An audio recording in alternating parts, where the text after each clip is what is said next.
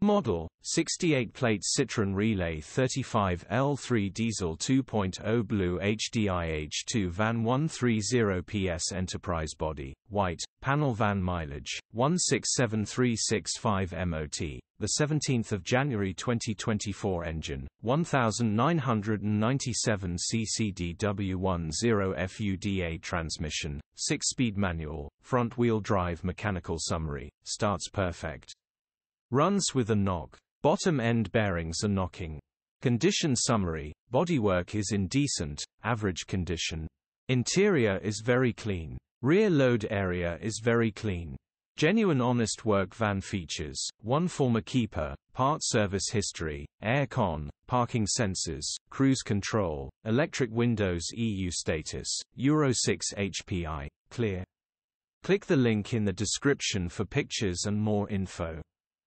Alternatively, call or WhatsApp us on 0 7 4 0 1 1 9 9 7 2 3.